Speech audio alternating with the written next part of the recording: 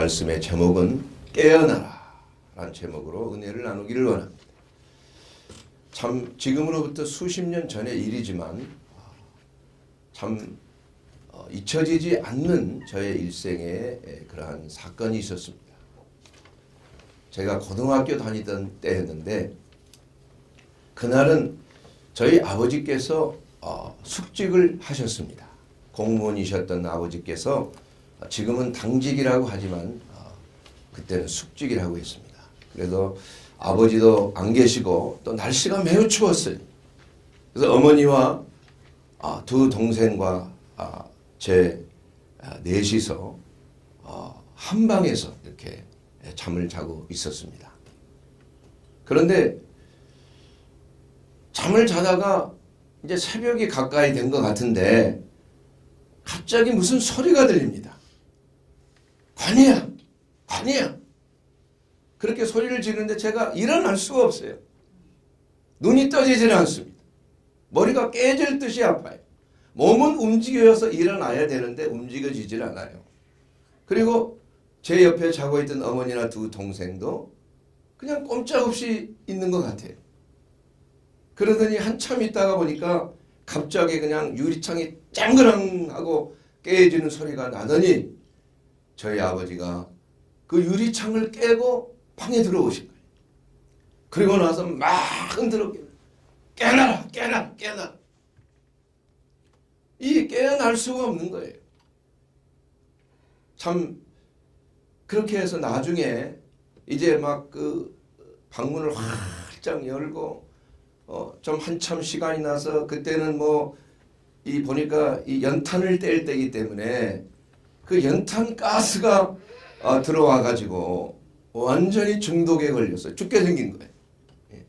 그래서 급히 뭐 동치미국하고 뭐 김치국인지 이런 걸 마시게 하고 말이야 막 한참을 뭐 이게 정신을 차리게 했는데 겨우 정신이 들었습니다. 다행히도 아버지께서 그때 깨우지 않으셨더라면은 다 아마 신문에 날 뻔했어요. 다 죽었을 거예요. 음? 그래서 도대체 아버지가 어떻게 알고 그 숙직이셨던 분이 어떻게 왔느냐. 그래서 아버지께서 나중에 말씀하시는데 아니 잠을 이렇게 좀 이렇게 자고 계시는데 당직실에서 갑자기 꿈에 말이에요. 아 제가 그냥 나타나더니 아버지 살려주세요. 살려주세요. 뭐 이런 막 부르는 소리가 들리더라. 이 불길한 예감에 그때 즉시 일어나서 당직 차를 타고 그냥 집으로 질주 새벽 한뭐 4시 정도 됐을까요? 캄캄할 때요. 그래서 그냥 문을 두드려도 이제 누가 혹시 도둑이 들어올까 문을 안에서 다 잠그고 있죠. 문을 꼭꼭 다 잠궜죠. 눈을 두드려도 대답이 없는 거예요. 그래서 하는 수 없이 그냥 유리창을 팍 깨서 어, 들어가 보니까 이 가스 중독이 그냥 다 죽게 생긴 거예요. 참 그때 생각하면은 만약에 그때 아버지를 통해서 분명히 우리를 살리기 위해서 하나님께서 정말 예비하시고 꿈속에 아버지가 그, 그걸 보일 수 있게끔 그러한 꿈을 통해서 하나님께서 우리의 생명을 살려주셨다는 것입니다. 예. 제 자신도 이 어, 사순절 때가 되면 지금 사순절이지만 이상하게 참 하나님께서 꿈을 통해서 어, 그렇게 깨워주시는 경우가 많이 있어요. 얼마 전에도 어, 아, 잠을 자는데 갑자기 어디서 소리가 들리는 거야 소리가. 아.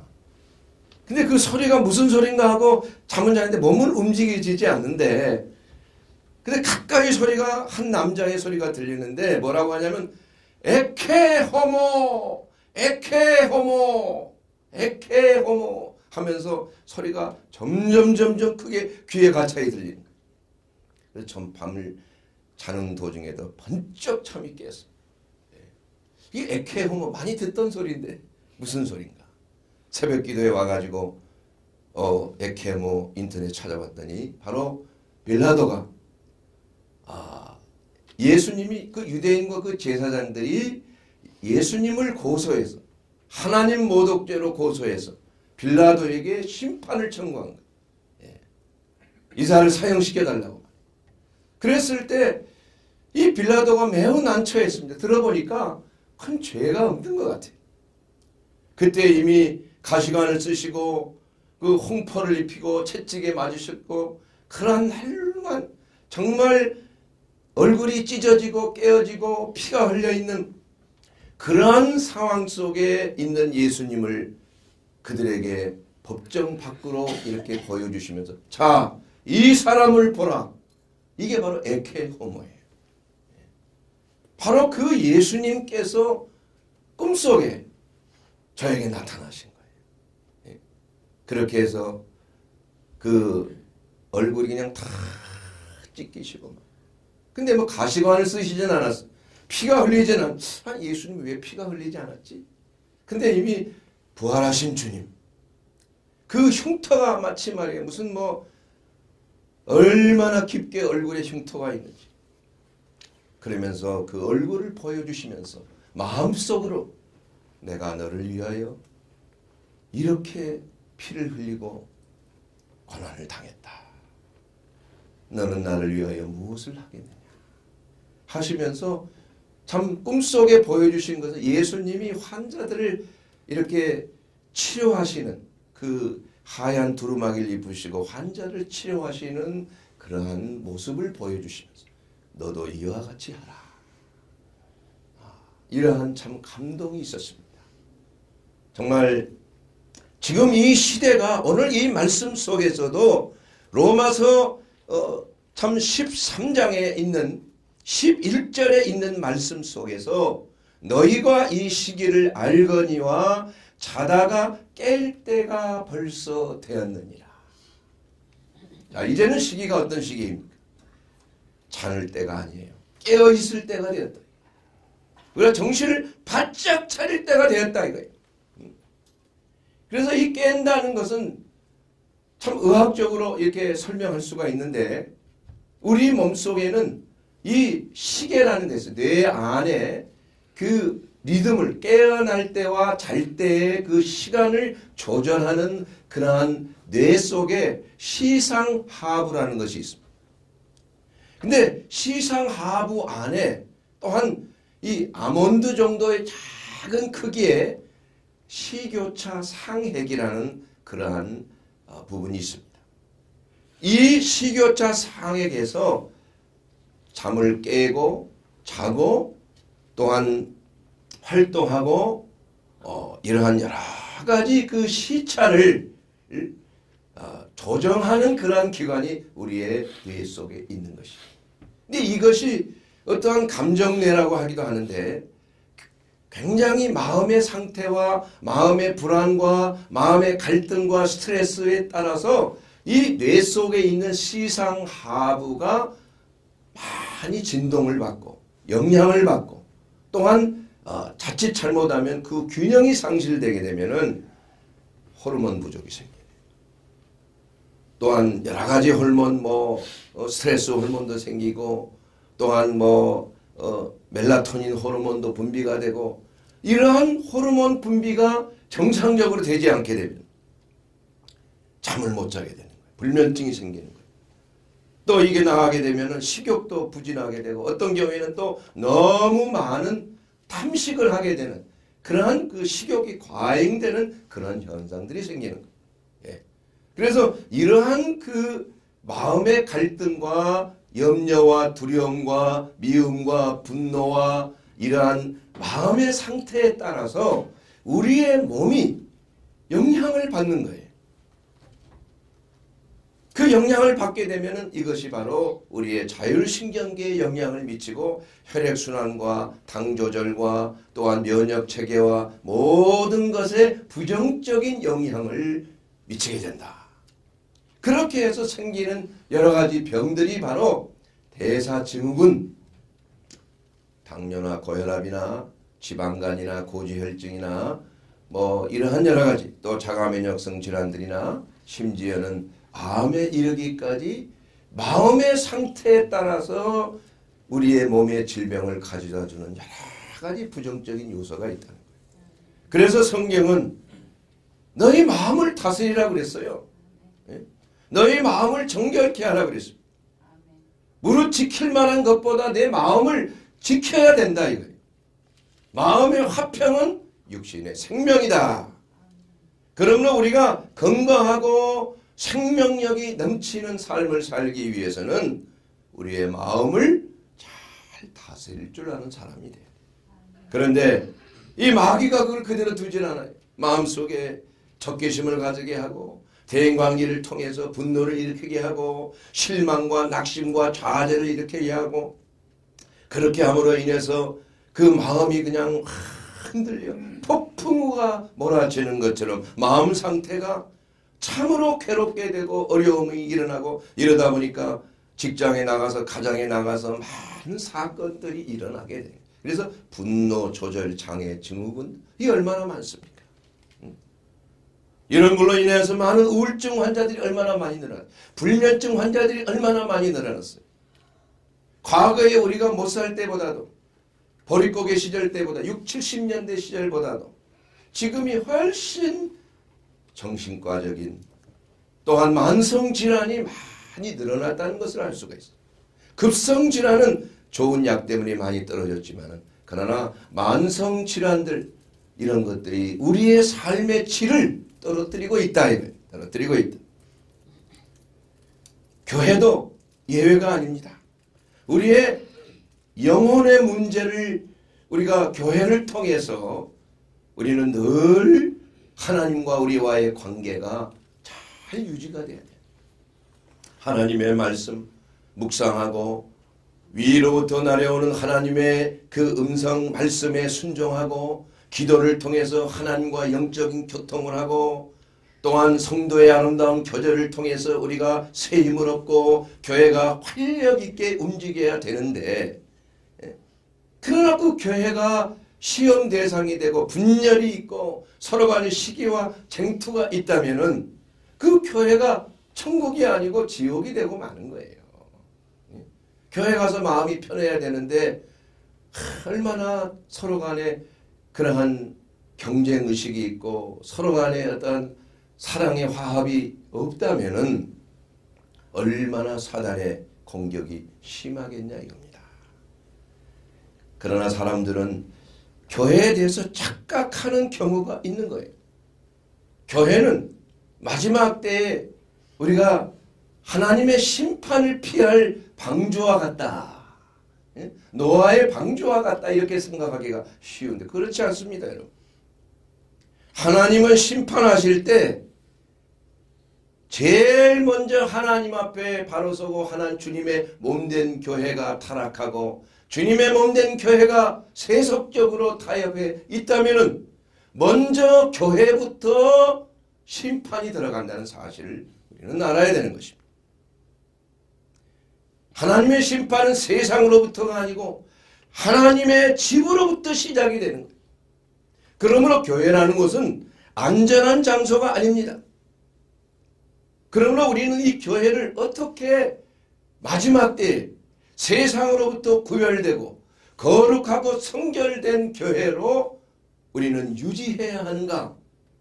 그것은 바로 성도 여러분에게 달려있는 거예요. 교회는 어떤 예배당이 아닙니다. 교회는 어떤 건물이 아닙니다.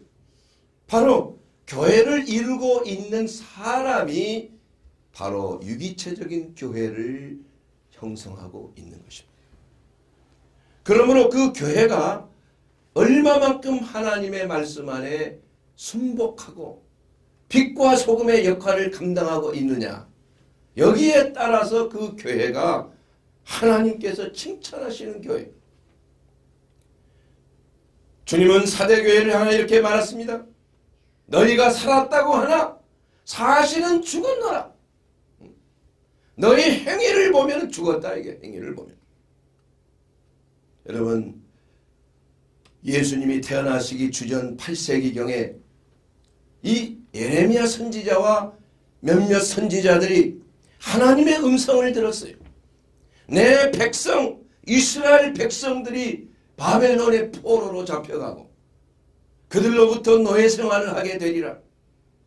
내 백성이 목이 걷고 우상 숭배에 찌들었고 미지근하고 어, 정말 신앙에 있어서 나를 바라보는 신앙이 너무나 강팍하다는 얘기예요.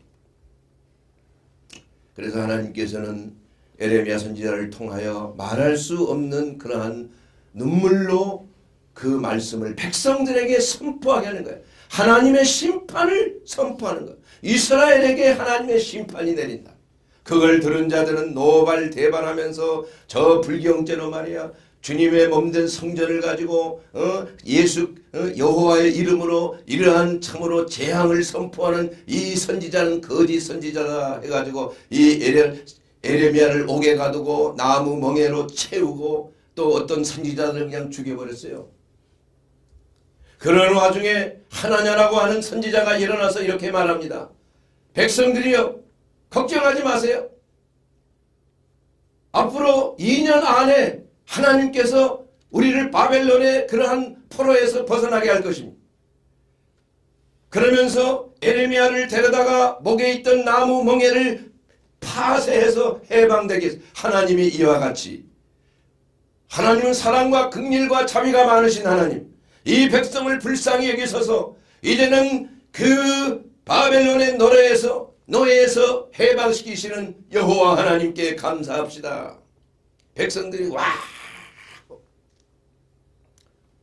그러나 그날 에레미야에게 하나님의 말씀이 임했어.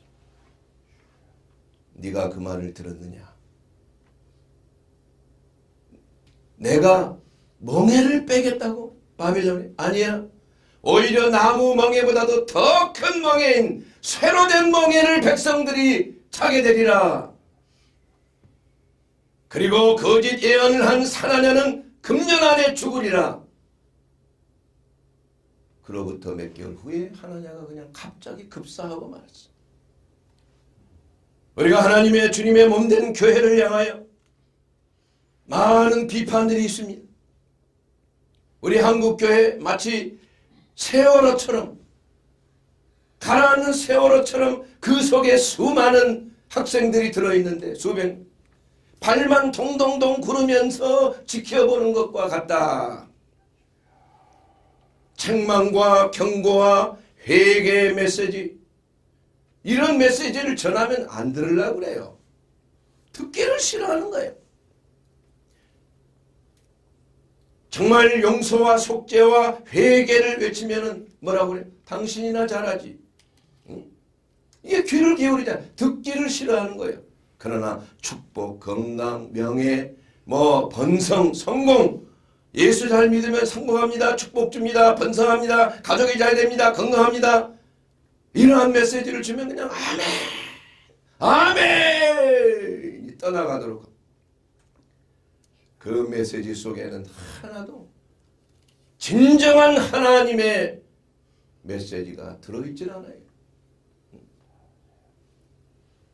진정한 선지자들이 말했던 또한 우리 주 예수 그리스도와 침례 요한이 말했던 그 복음이 무엇입니까?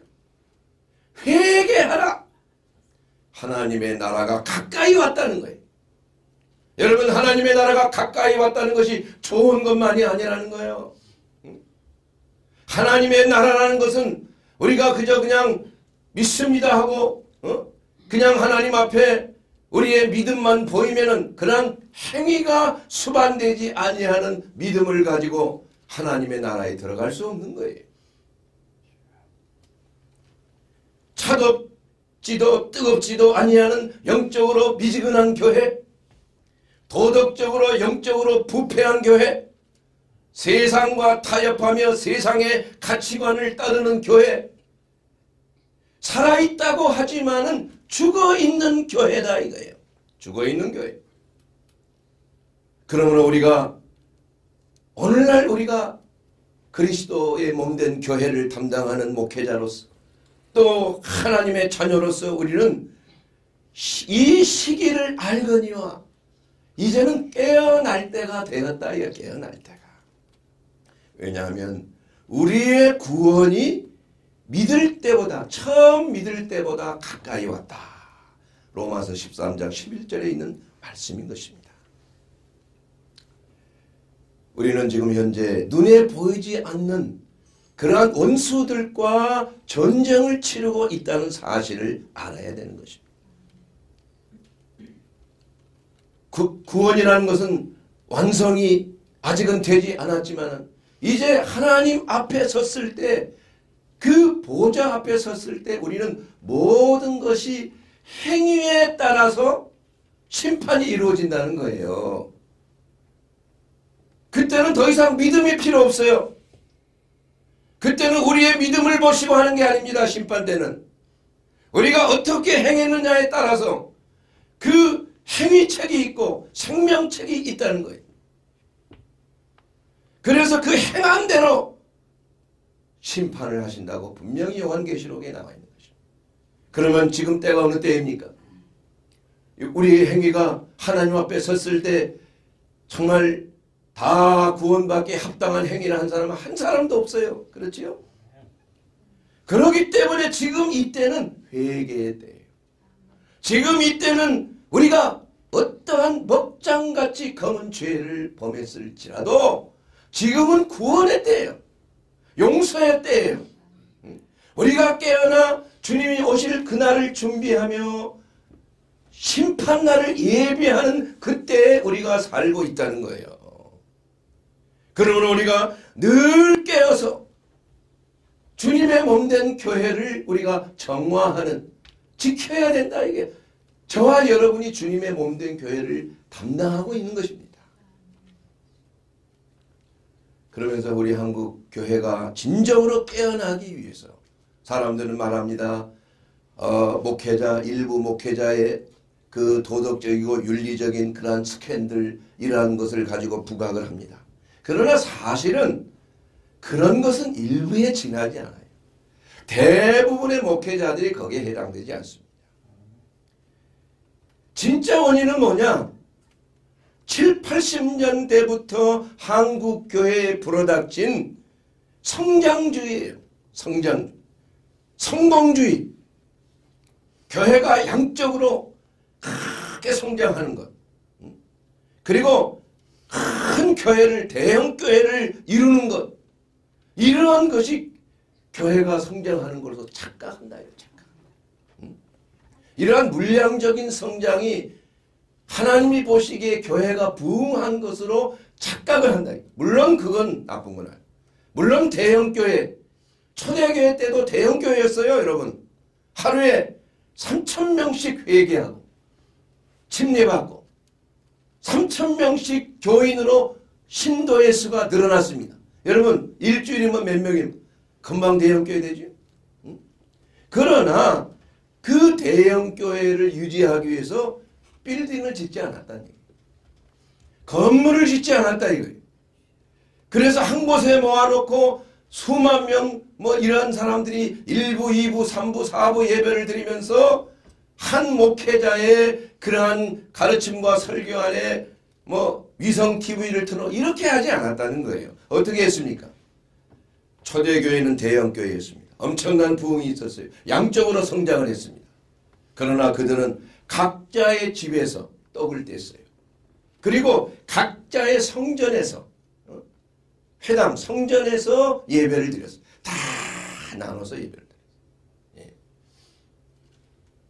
그렇게 하면서 각자의 직분대로 각자의 하나님의 성향대로 그 거울 거울마다 주님의 몸 된 교회가 성장해 나갔다 이거예요. 예. 그들이 한꺼번에 다 모여서 예배당을 크게 짓고 대형 교회를 짓고 그걸 유지하기 위해서 얼마나 많은 물량적인 필요와 아 일주일에 몇 번 예배 드리는 걸 가지고 말이야 그렇게 많은 돈을 들여서 이렇게 하다가 보니까 그 유지하기 위해서 그 직분자를 뽑는데 그 직분자가 되기 위해서는 부자가 아니면 되기가 힘들어요. 솔직히. 그렇게 목사님이 나와서 말씀하시다. 왜냐? 아니 좀 직분자가 되면은 그 성도들을 좀 보살피고 뭐 성가되면 성가대도 좀 먹을 것도 사주고 말이야. 뭐 이렇게 해야 뭔가 좀그 재력이 있어야 직분자 감당할 것이 아니냐. 뭐 그 말이 좀 일리가 있는 말이지만 그러나 그것은 너무나 세상적이에요. 너무나 세속적인 그러한 기관에 하는 그러한 것을 그대로 답습하고 있는 거예요. 여러분 초대교회 때 복음 전도자가 돈 받고 어디 다녔습니까? 예수님 건너 전대도 차지 말고 돈 가지고 다니지 말라 그랬어. 그리고 내가 거저 주었으니 거저 전하라 그랬어요. 어? 돈 받고 하지 말라 그랬다. 그리고 사도 바울은 자비량했어요. 텐트를 지어서 밤이 새도록 그렇게 하면서 목회다. 물론 교회가 커지면은 그걸 전담하는 목회자가 있는 건 당연한 것입니다. 그러나 그 당시에는 이러한 한꺼번에 수많은 성도들을 모아놓고 하는 예배당을 만들지 않았기 때문에 그럴 필요가 없었다는 거예요. 그들은 어떤 프로그램도 필요하지 않았습니다. 그들은 어떤 뭐, 뭐 지금처럼 인터넷이나 뭐 TV 이러한 사역을 할 필요도 없었어요. 예? 그들은 어떠한 조직도 필요 없었습니다. 그럼에도 불구하고 그들은 세상을 뒤집어 엎는 엄청난 파워가 그들 가운데 있었다는 거예요. 이것이야말로 진정한 영적 부흥이라. 이게 교회의 부흥인 것입니다. 정말 우리 하나님의 말씀 안에 정말 사랑하는 성도들이 주의 말씀 안에 늘 순종하고 순복하고 바울이 전한 말을 주야로 말씀을 묵상하면서 이것이 그런가 하며 성경을 읽으면서 하나님의 말씀을 내 삶 속에 적용했다. 그리고 그들은 자기네들끼리 모여서 떡을 떼면서 기도하고 나가서 또 전도했습니다. 그래서 그 지역사가 어느 정도 전도가 되면 또 다른 곳에 그것을 맡겼어요. 그렇게 해서 소수의 인원들이 모여서 교회를 이루고 그 교회가 커지면 다시 또 분리했어요. 그래서 진정한 성경적인 교회의 상은 하나님의 말씀 안에서 정말 각 지역 지역마다 주님의 몸 된 교회를 이루고 그 지역 교회들이 연합하여서 큰 교회가 형성이 된 것이다. 이것이 진정한 하나님이 바라시는 교회가 되는 것입니다. 진정으로 우리가 하나님이 보시기에 합당한 삶을 살기 위해서는 이제는 거룩한 성도의 삶이 돼요. 거룩한 성. 로마서 13장 13절 말씀에 나제와 같이 단정히 행하고 방탕하거나 술 취하지 말며 음란하거나 호색하지 말며 다투거나 시기하지 말라. 여러분 이 마귀는 우는 사자처럼 성도들을 미혹하는데 그 본능을 통해서 사람을 미혹하는 사람에게는 세 가지의 중요한 본능이 있죠. 식욕의 본능이 있습니다. 또한 자는 본능이 있어요. 수면. 또한 배설하는 본능이 있어요. 이걸 성, 성적인 본능이라고 합니다. 이 세 가지 본능 중에서 사실은 가장 큰 본능이 수면욕이에요. 수면욕. 여러분 잠자지 못하는 자에게 먹을 것을 줘보세요. 먹습니까? 잠자는 자에게 어떠한 성적인 욕구가 일어납니까? 잠 못 자는 자에게? 그게 아니에요. 그래서 욕구 간에는 이러한 크고 작은 그러한 순서가 있다. 이게. 그런데 이러한 모든 본능적인 욕구를 통해서 더 많은 욕구를 충족시키기 위해서 서로 간의 싸움이었어. 여러분 원시 시대 사람들이 아주 본능에 충실한 사람들. 그래서 어떤 사람들은 그들은 본능에 충실했기 때문에 행복했을 것이다. 그렇지 않습니다. 오히려 힘세고 강한 자가 그 자기의 욕구를 다 차지했어요. 약한 자들은 다 도태됐습니다. 어? 먹는 거, 입는 거, 성적인 욕구 이런 모든 것들을 한두 사람이 다 차지해버려. 이제는 문명 사회에 와서는 어떤 사회입니까? 이제 모든 것이 절제가 있고 법이 있는 사회예요. 그러한 사회 속에서 이 본능적인 욕구를 쟁취하기 위해서 사회적인 명예와 권세를 얻기 위해서 얼마나 발버둥치고 그래서 많은 사람들이 좀 더 좋은 직장, 좋은 학교, 어, 좀 더 좋은 집에서 이렇게 살기를 원. 이 모든 것들이 사실은 사람의 이 3대 본능을 그 욕구를 충족하기 위한 자연적인 연 이것이 바로 육신의 본능이에요. 육신의 그러나 우리 그리스도인들에게는 그걸 뛰어넘는 가장 중요한 본능이 있습니다. 그건 뭡니까? 영적인 본능이요. 하나님을 추구하는 것이요. 하나님의 말씀 없이는 살 수 없는 것이요. 하나님의 말씀 안에서 이 모든 본능의 욕구가 가장 중요한 욕구가 있기 때문에 그 욕구를 충족시키기 위해서 성령의 욕구를 충족시키기 위해서 우리는 육신의 욕구를 절제하는 것. 예. 이것이 바로 진정한 그리스도인의 삶이라. 그러기 위해서 우리는 거룩한 삶을 살. 우리는 우리의 삶 속에 우리의 삶이 얼마나 하나님이 보시기에 합당한 삶이 된 내가 거룩하니 너희도 거룩하라. 우리는 육신의 일을 십자가에 못 박아버리는 삶을 사는 거예요. 우리는 내가 사는 것은 이제 그리스도 예수 안에서 예수를 믿는 믿음 안에서 살고자 하는 것이. 여러분 하나님께서 창세기 19장 12절 이하의 말씀을 통해서 소돔과 고모라를 심판하시기 전에 천사를 보냈습니다. 그들이 죄악이 너무 관영했어요. 음란했습니다. 동성애가 난무했습니다. 참으로 말할 수 없는 윤리적인 타락이 있었어요. 결국은 하나님께서 그 소돔과 고모라를 멸하시기로 작정하시고 그 안에 의인이었던 롯과 그 가족들을 구원하기 위해서 그 천사들을 보냈던 것을 알고 있다. 지금도 이 시대에 이 죄악이 관연한 이 시대에 하나님의 천사들이 하나님의 사자들이 진정으로 바른 복음과 바른 하나님의 말씀을 증거할 때 이것을 듣는 자는 매우 소수란 얘기. 그것을 듣고 따라오는 자는 재앙에서 멸함을 받는. 여러분 지금으로부터 약 75년 전인가요? 어? 히로시마 상공의 말에 갑자기 B-29 제트기가 나타났어. 그래서 거기에 삐라가 막 뿌려졌어요. 8월 6일 날인 걸로 알고 있어요. 그 삐라를 보니까 히로시마 국민들이요. 시민들이요. 지금 빨리 50리 밖으로 빨리 피신하라. 이건 미군에서 그걸 뿌려준 거예요. 경, 미리 경고를 한 거예요. 실제로 그런 일이 있었다고 그래서 그냥 막 사이렌을 불고 말이야 거기서 쳐들어온다고 그랬지만은 불과 소수의 사람만 그 삐라를 보고 50리 밖으로 어, 빠져나온 저의 친척 중에 다행히도 그걸 보고 히로시마를 빠져나가 50리 밖으로 숨었던 사람이 한 사람. 그분이 한 얘기를 직접 들었어요. 얼마 있지 않자 실제로 B29가 왔는데 그냥 정찰인 줄만 알았대 사람들이.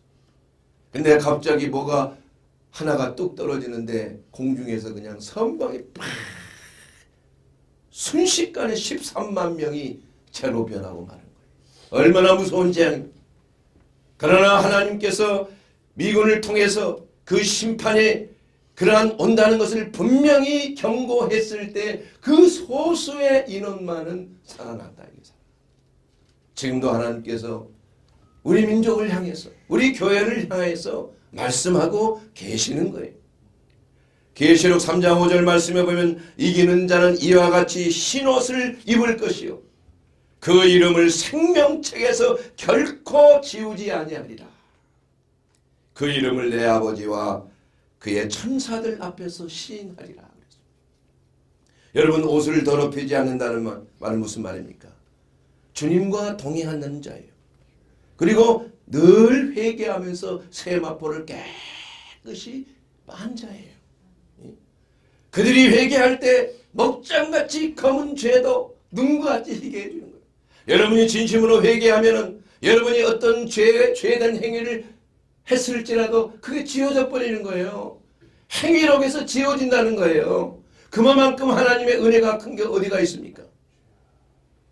그러나 사람들이 그러지 않는 그러한 기회를 주는데도 사람들이 진심으로 회개할 줄을 모르기 때문에 이러한 비극을 맞이할 수가 있다는 것입니다. 그래서 요한계시록 20장 12절에 이제 내가 보니 죽은 자들이 큰 자나 작은 자나 그 보좌 앞에 서 있는데 책, 책들이 펴져 있습니다. 그 책들입니다. 생명책도 있고 행위록도 있고 생명책에 기록된 사람은 구원을 받을 사람 행위록에 있는 모든 자들은 그 행위가 낱낱이 기록이 돼요. 저와 여러분의 행위가 보좌 앞에 심판대 앞에 그 행위록에 다 기록이 되어 있는데 우리가 주님 앞에 서기 전에 진심으로 회개하고 세마포를 빨듯이 옷을 희게 한 자, 옷을 더럽히지 아니하는 자, 이러한 자들에게는 그 행위가 말끔하게 지워집니다. 어떤 그런 행위를 지었을지라도 희게 해주시는 놀라운 은혜가 있다는 거야. 그 시기에 우리가 마음을 강팍하지 말게.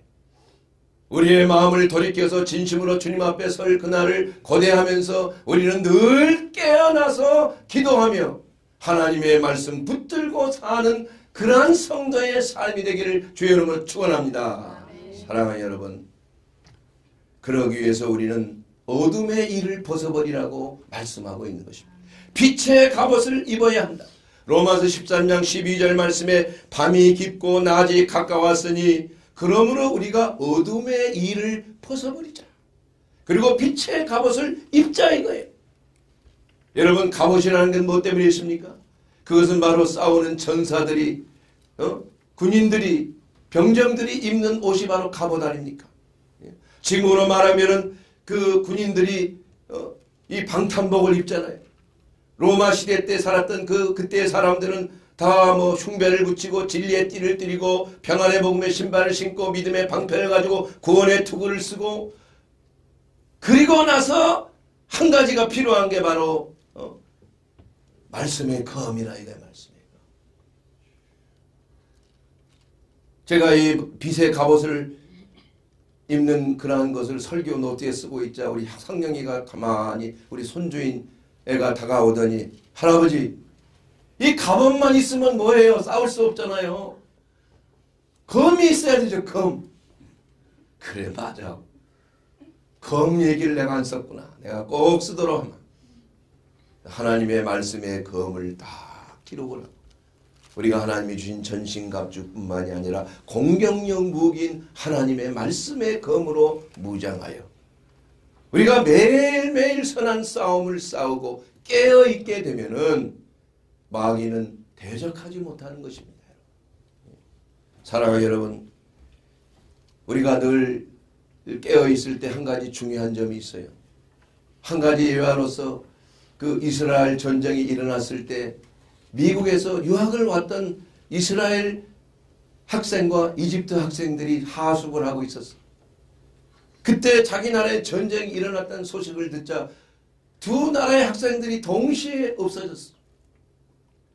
어디를 갔나 봤더니 이스라엘 그 학생은 전쟁에 참여하기 위해서 자기 나라로 돌아가고 이집트의 학생은 어떻게 하면 혹시 전쟁에 끌려가면 죽을까봐 지도서에도 모르게 딴 데로 도망가고.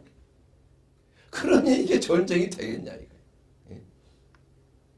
7일 예. 만에 300만 명의 이스라엘군이 1억만 명이 넘는 이집트 대군을 완전히 경멸해버리고 다 곤란 고원까지 다 차지해버리고 마는 거 아니에요.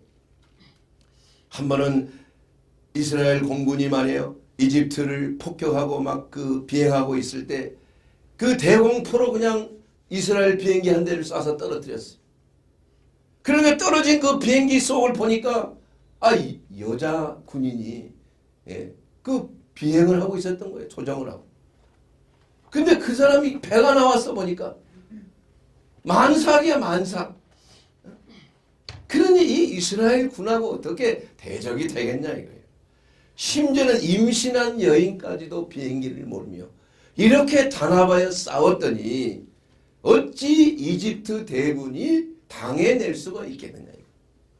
사랑하는 여러분, 지금 우리가 깨어서 경성하며 정말 이 나라와 민족을 구하기 위해서 우리 교회가 정말 깨어서 하나님의 나라의 군사로서 이 공중의 권세 잡은 마귀들을 대적해야 되는 거예요. 여러분, 이 나라의 모든 것을 주장하는 것은 계획하고 주장하는 것은 그 마귀들이 공격을 하고 있기 때문에 그런 거예요.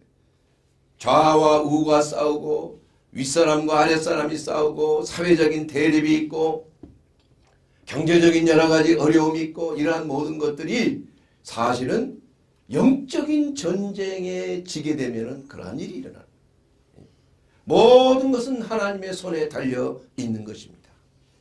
그러므로 우리가 늘 깨어서 우리의 가정과 일터와 우리의 교회를 우리 스스로 지키지 아니하고 돌보지 아니한다면은 깨어있지 아니한다면은 우리가 어찌 이 나라 이 민족이 하나님이 원하시는 제사장 나라로서의 삶이 될 수 있겠느냐.